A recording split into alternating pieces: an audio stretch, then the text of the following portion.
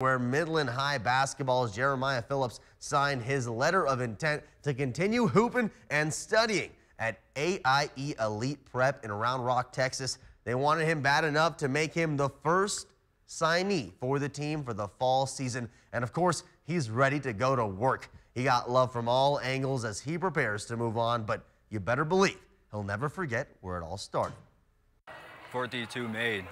That's that's my that's my thing when I leave is 432 made. I gotta gotta go there and bring it back to Midland because I was born and raised here and I have so much like so many friends and family and I feel like I would take my heart, my character, my passion for basketball, school, and people around me